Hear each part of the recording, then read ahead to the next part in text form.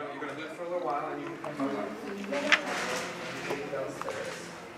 He grabs the chubby like